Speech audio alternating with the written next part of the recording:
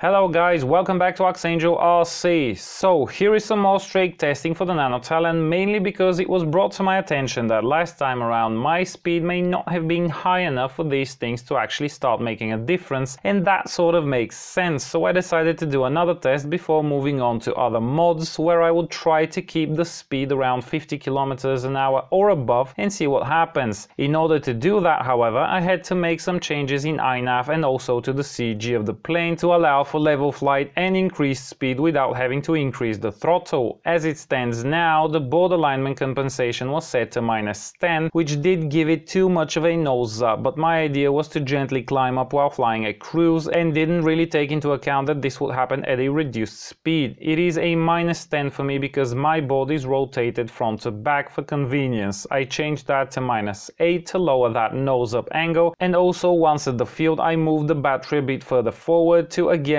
prevent the plane from nosing up too much, which should give a good boost to forward speed while holding altitude, but should not require higher throttle for that. Last time around, my average speed was around 35 to 40 kilometers an hour because the plane was mostly flying in high alpha, with the nose pointing up more than necessary, and the battery a tad more to the tail than necessary. Now though, with these little changes right from the get-go, I definitely noticed an increase in the average speed while holding level at the same throttle position as before. Interesting result was also a decrease in the milliamp hours per kilometer indicator since I was now flying faster at the same amp draw meaning I could cover more kilometers with the same amount of energy. That on its own is pretty good news. So first flight was with the strakes on and since now I try to keep a speed of at least 50 kilometers an hour I have to say I could definitely see a difference from last time when I mostly flew at 35 to 40 kilometers an hour and that was in a good way. At an altitude of 100 meters there was still some rocking, but it was a lot less pronounced and its amplitude seemed greatly diminished. I put the plane into altitude hold mode so I wouldn't have to worry about that during the test and iNav actually managed to keep the speed around the 50 km an hour mark and slightly faster at times. A bit later on I climbed up to 450 meters and the plane literally felt like it was standing still at times and at times as the speed went over 60 km an hour it felt even more stable and there was no sign of of rocking. After a while I landed to remove the strakes and took off again doing the same thing as last time, sometimes spent at 400 meters and then some at 450 meters and I hope you can see this because it was very apparent while I was flying. Without the strakes it noticeably rocked a lot more. The rocking just didn't feel quite as tight and well controlled as before, it felt loose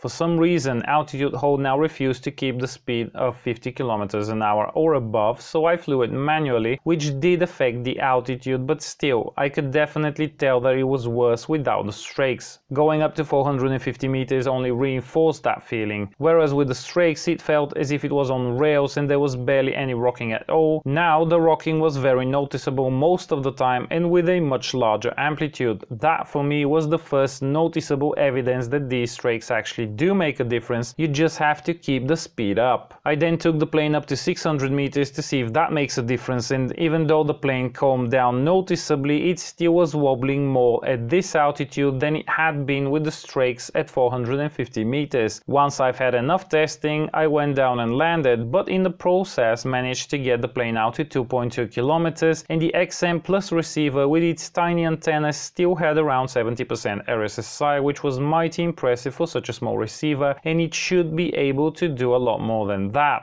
So the next day I decided to do a new endurance run now in warmer weather because during the last one it was freezing to see if the battery will actually make it to 2 hours of flight time and given the new CG and board alignment settings I was also curious to know what distance it will be able to cover in that time. I also wanted to check if iNav is up to the task of a 2 hour flight because last endurance proved it was not. Flight was going pretty good for a while and then all of a sudden a mid-flight disarm happened but since now I had the plane mechanically trimmed, it just entered a gentle spiraling turn. I did have control over the servos while disarmed, but not the motor unless I can rearm it first. Funny thing is, the reason for the disarm was the switch and I'm pretty certain this is bullshit because I've set up the disarm switch in a way that prevents me from toggling it by accident and I would have noticed if I had done that. Also, it didn't want to arm right away so I had to wait a bit before it would accept the new arm command and I resumed the flight. I landed immediately after that because as it stands with these mid-flight disarms etc